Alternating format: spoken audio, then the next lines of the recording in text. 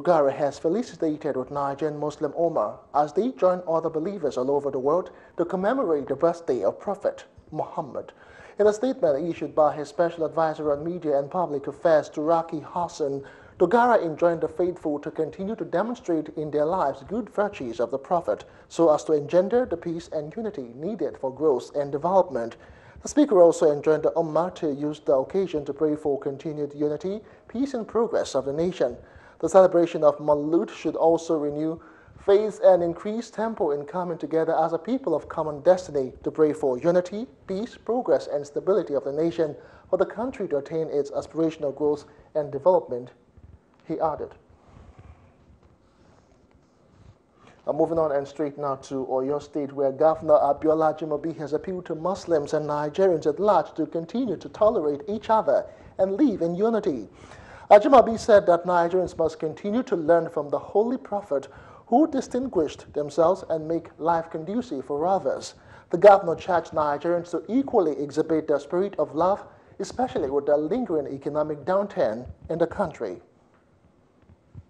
Since from his life and lifestyle, and there are about eight lessons to be drawn, but the most important one is to fear God, is godliness, hmm?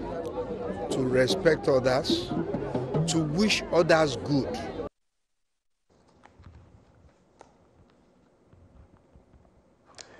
In the same vein, back here in Lagos, uh, Muslim faithful have joined their counterparts worldwide to mark Eid al-Maulud, a day set aside to celebrate the birthday of Prophet Muhammad.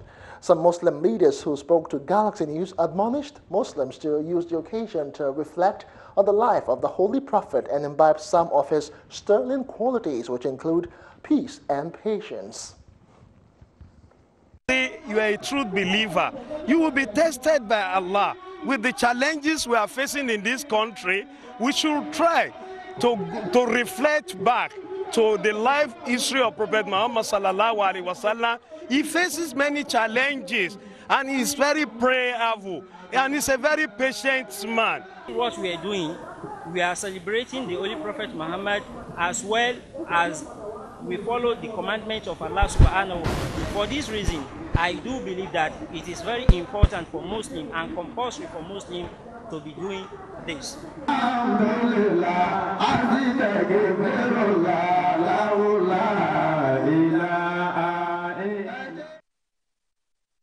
Eid al-Maulud was declared public holiday by the federal government of Nigeria. And away from all of the celebrations in not too cheering a story now, Five policemen have been ambushed and killed by Fulani militia in Numan area of Adamawa State. The security personnel were among those deployed by the Inspector General of Police, Ibrahim Idris, a few days ago to restore law and order in the areas following farmers and herdsmen clash that resulted in the deaths of scores last week. Numan local government area is the headquarters of villages that are recently facing farmers and herdsmen war, where lives are being lost the brigade commander, 23 Armored Brigade Yola, Brigadier General Mohammed Bello said it was a fierce battle that the military had to engage with the militias.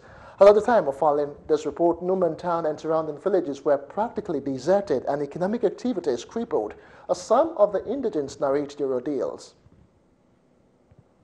The set of Fulani people, maybe they were mobilizing for action. And then the police went there this morning and they have problem between them and the police. That some they have some casualty because when my uh, officer went there this morning, they have to evacuate some casualty and give to. But it's no more than 30 or so. 1 p.m. Four corpses were brought of policemen with multiple injuries. One was taken this afternoon and three were left.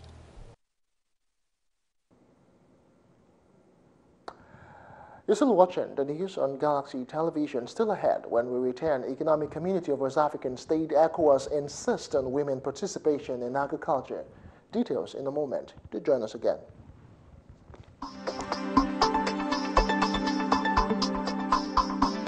Moving on, the ECOWAS Parliament is championing the cause for a greater participation of women in the agricultural sector and ASUT is hosting a meeting geared towards promoting gender equality in agricultural investment in Africa. Galaxy's Godfrey Ishomage, who has been at a two-day meeting for the ECOWAS parliamentarians hold, or holding in Abuja rather, reports that the agenda of the meeting include having a thorough look at the policy and institutional framework that will make it easy for women to carve a niche for themselves in agriculture a member of the ECOWAS Parliament and a member of the House of Representatives of Damboa Gwoza Chibok Federal Constituency, Borno State, Honorable Asabe Vilita, says the meeting could be the first step towards having a paradigm shift in agriculture in the country. Our, in most of our African societies, especially in Nigeria, women are the ones that go to even farm. In some communities, men do not even go to farm. So, but we are really constrained because some of the laws and the, some of the, uh, the, the, the, the, policies do not encourage women to participate actively in farmers or to take the law, that is to take the bull by the horn, like to own it. They are just doing it for the men that are at home. So this conference is very strategic in the sense that it will, uh, it will come up with so many policies that uh, and policy statements that will favor the women so that they can also be empowered. The ECOWAS Parliament is organizing the meeting in collaboration with key development partners, including the International Institute for Sustainable Development and Oxfam. This meeting were about how parliamentarians see this problem within the region and also in their own country, and how best uh, to implement the existing framework that are already in the ECOWAS region, and also what are the tools, practical tools that could be uh, put in place to facilitate their works towards achieving women empowerment. And because we all know that in our countries, in our communities, usually half of our people are not listened to, and that half is women. So that's why we are here to actually discuss with parliamentarians so that women rights, gender rights, gender issues can be actually taken into account while governments are negotiating those large-scale investments in agriculture. Well, moving on, the Director General of the National Broadcasting Commission, Ishaq Modibo Kawo, has explained that lack of funds from the federal government has been responsible for the delay of the national digital switchover. Ishaq, who in company of the Minister for Information, Lai Mohammed, inspected the Kwara State uh, station rather says switching over is expensive and will require a lot of fund. He noted that it will be done in phases as the country is presently coming out of recession and could not put all the resources in the switchover project alone. We are going to be doing launches in phases. That's the decision we took because a, a digital switchover in a very huge country like this requires a lot of funds. And when Nigeria is just moving out of recession, and the country has to take a decision between putting money in infrastructure development, hospitals, and whatnot, and also having to put a huge amount of money into digital switchover. I'm sure if Nigerian government says we put all the money in digital switchover, you'll be the very first person to complain. Earlier in an interview, the Minister of Information and Culture, Lai Mohammed, gave reason for the visit, while the field engineer, Edward Amala, explained why Kwara State is yet to switch over completely. Here to come and um, have a first-hand uh, inspection of the level of readiness for the uh, digital, uh, digital switchover for Kwara State. I'm sure you've had um, over the last couple of months a lot of cacophony of voices as to the readiness or otherwise, the standard or otherwise of the uh, station in Ilorin. Ready to take off in Ilorin. Okay, we've seen the installation. Now, uh, what was lacking before has been rectified. There's some level of redundancy now built into the transmission system. Right now, we're transmitting 26 channels as at now, right?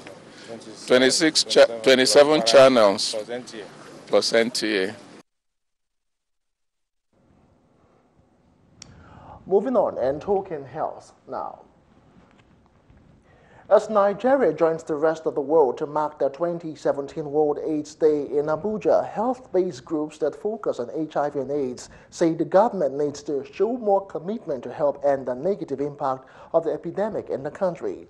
The group, comprising civil society organizations and a network of people living with HIV AIDS in Nigeria, held a walk in Abuja as part of activities to mark the day.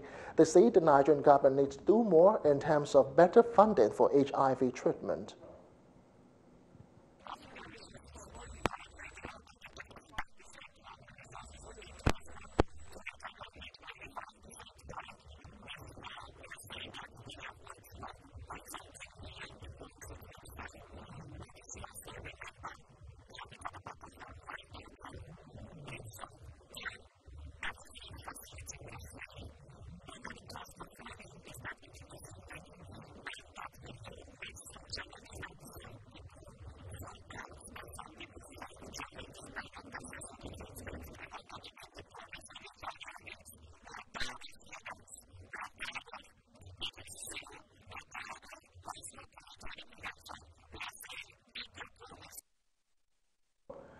December 1 every year is set aside to mark World AIDS Day as a way of creating awareness on the impact of the global epidemic.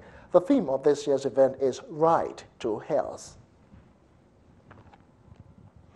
In the same vein from Kwara State, as residents gathered to mark the 2017 World AIDS Day in Makurdi, the state capital, Benson Abounu, the state deputy governor, says the state has made remarkable progress in the fight against HIV and AIDS. Speaking at a ceremony organized by BENSACA and other development partners and agencies, he expressed government's commitment to continue to give support to eradicate the epidemic and those living with it.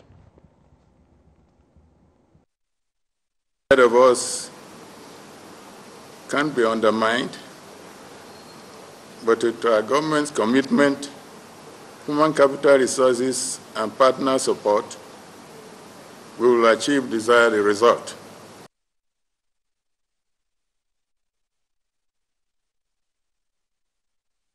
A development partner who have been given free HIV testing, distribution of condoms, as well as educating the public, said over 300,000 people are currently infected with the disease in Benue, adding that government must step up funding and advocacy program.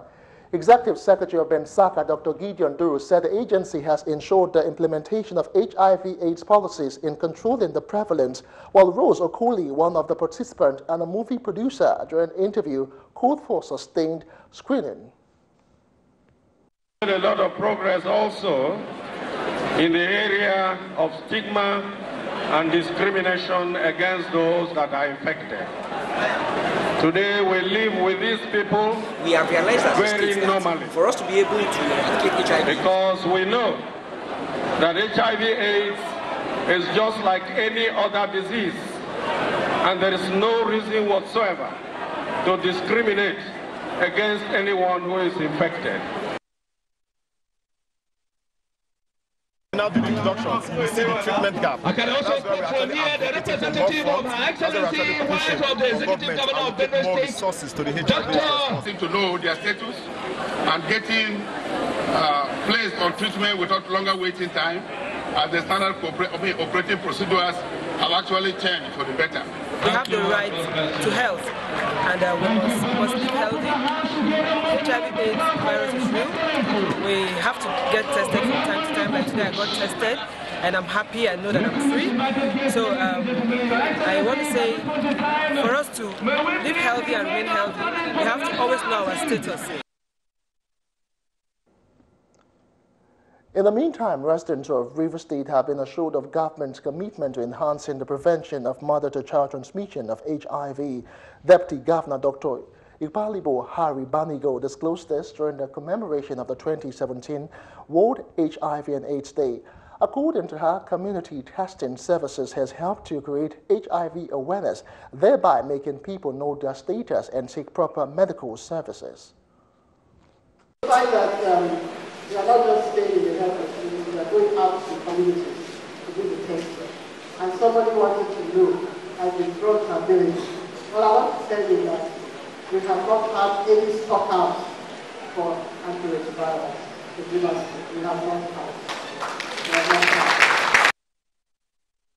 Now, Commissioner for Health, Professor Chike Prentice, said that modern drugs for HIV is very effective in suppressing the virus. He said those living with the disease can live a fulfilled life as long as they take their medication as prescribed.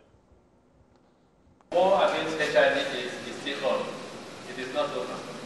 The statistics, yes, those may be slightly favorable, but we're still having high incidence going on.